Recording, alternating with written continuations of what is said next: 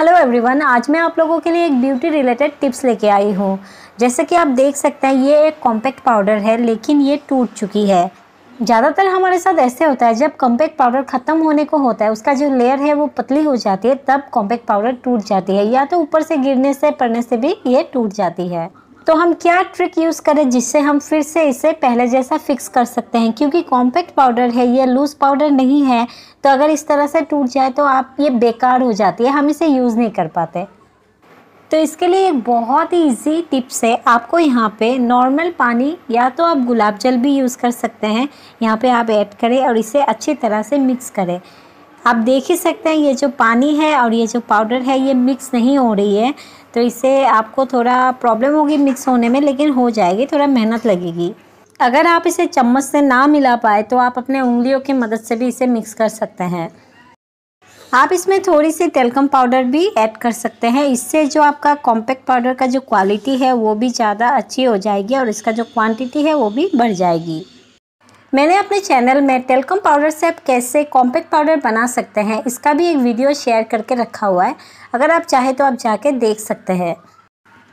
तो हमने इसे अच्छी तरह से मिक्स कर लिया है, अभी हम इसे अच्छी तरह जैसे मतलब एक कॉम्पैक्ट पाउडर रहता है, इस तरह से शेप दे देंगे।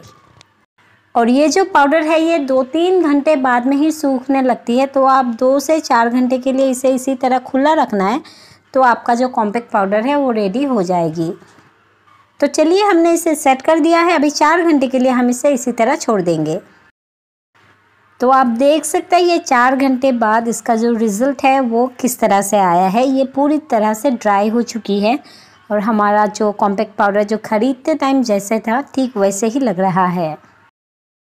किसी किसी का ये सूखने के बाद थोड़ा हल्का इसमें दरार रह सकता है, क्योंकि आप इसे फैला देते हो ना पानी को मिक्स करने के बाद।